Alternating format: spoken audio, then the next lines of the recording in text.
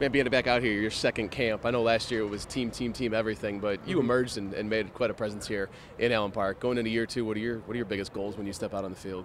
Uh, help the team out wherever I can. So going out there, just doing my thing still, and uh, having fun while doing it. The linebacker room has changed a little bit, and then the group of you Mhm. guys obviously a year older. How much different does it feel for you stepping into that room and stepping out on the field with, with your fellow linebackers? Oh, it feels a lot different. You know, the competition level is high. Everyone knows everything. So it's just another year under the belt, another year in the system. So everyone's flying out there. You were kind of flying under the radar at this point with Lions fans Mhm. last year. Hard Knocks airs, and all of a sudden they're screaming your name like crazy. Yeah. Coming out to camp and having all the love, and maybe living in the off season and having Lions fans stop you. What's the fan support meant to you?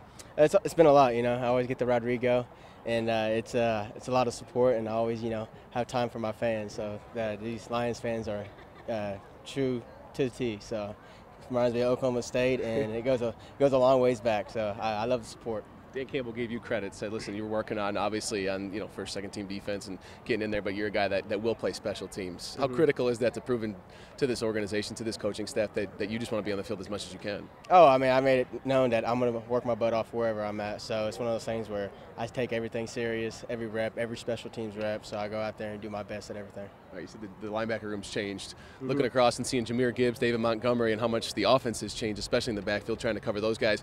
What's the dynamic been like in practice when, when you guys have now faced each other in pads? Oh, it's been fun. You know, some uh, some uh, Gibbs is a scat back, so you got to make sure you're on your uh, you're on your stuff with him, trying Yeah. to cover him. Then Montgomery, you know, lay the shoulder down. So it's one of those things you got to know who who's that running back at the time, and it's always fun going against good competition like that.